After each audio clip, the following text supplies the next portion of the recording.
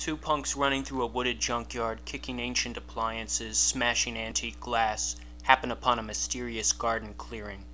Schoolboys light cigarettes and survey the splendor. A beautiful, if eccentric, assemblage of flower beds and organized detritus. Teacup shards encircle green, blue glass mosaics. Azaleas overflow frayed wicker rings. Morning glories climb car part window pane lattices. Silent with awe, they're startled by a movement in their view. A weathered graybeard sits upright from the magnificent tapestry, beads showering down stained overalls. Howdy, fellas. Don't know who's breaking glass, do you? They fidget, a nervous nope. Don't know why someone would want to break old things.